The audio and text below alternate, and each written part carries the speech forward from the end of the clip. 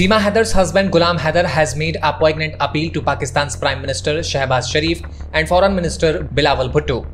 Ghulam has released a video pleading to bring his four children back to Pakistan safely from India. Ghulam Haidar has sent his message from Kaaba, the Islamic religious place. Surprisingly, in the video of about 1 minute 30 second, Ghulam did not mention his wife Seema anywhere. He was only seen demanding the return of his children.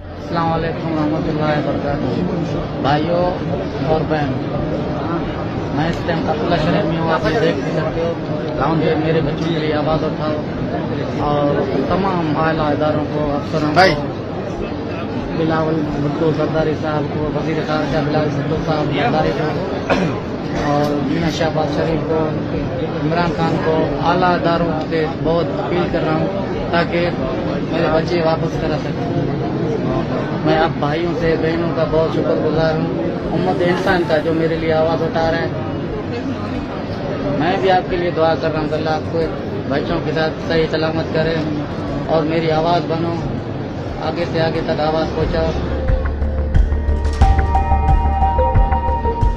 Seema Haidar, a resident of Pakistan's Karachi and mother of four children, befriended Sachin Meena, who lives in Greater Noida of Uttar Pradesh.